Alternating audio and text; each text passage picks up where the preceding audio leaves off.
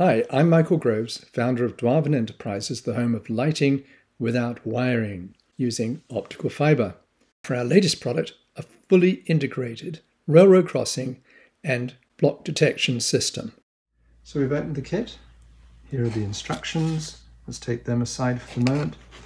A foam covering and another piece. Ah, and here we have it. So there is the lamplighter DFL unit there. That is the one that controls everything. And next to it we have the railroad crossings. These are HO ones, they could also be N and very soon O scale. And those connect into the top here, what are called the chimneys, fiber chimneys. Right, next we want to have the side-on detectors. Here are the side-on detectors. They are easily mounted and in fact what we provide is a kit for that.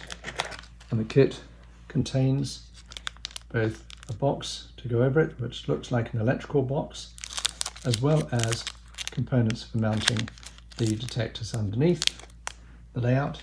And finally we have the crossing bell.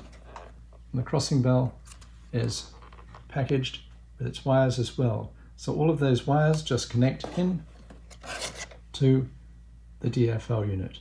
And of course a power supply, which is optional. You may buy it with the power supply or we provide a connector to go onto your, onto your bus on the railway line. So there we have it. That's the complete integrated Lamplighter DFL kit. So let, here's the basic unit. It is the DFL controller. And here are what we call the fiber chimneys, both for N scale as well as HO. So we take one of the fibers and insert that into one of the holes there of the chimney. The other fiber, I will insert that into the other side. And now we'd have the railroad crossing, one of the railroad crossings, connected in. So let's now talk about the different products that we could put into this. We could use, for example, an N-scale railroad crossing, we could take that and use an, instead a block signal. This is a dwarf one or a tall block signal. So there are four different products that can be used with this DFL unit. On this layout, we now have the Lamplighter DFL detector.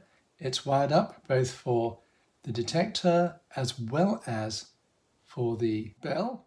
So there is my detector and I can show you that. There it is. That's a side-on detector and all we have is just this cover. You can go on top of it. And here is the crossing bell. Well, let's activate it so we bring a train across in front of the detector.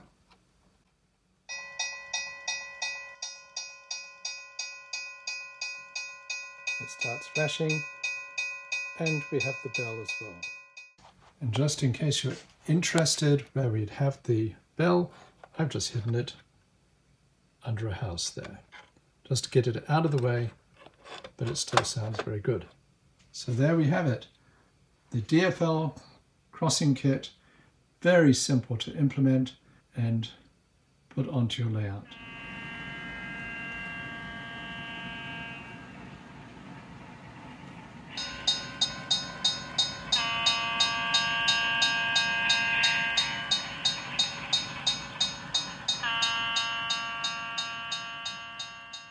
The jumper that takes it from being a railroad crossing system to a block detection system. We just move the jumpers across and it really therefore is two complete different products in one package. So here we have the detector.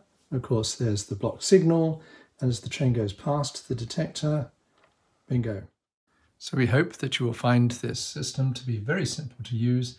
And of course, you'll find it on uh, our Dwarvin website, www.dwarvin.com. Thanks so much for watching.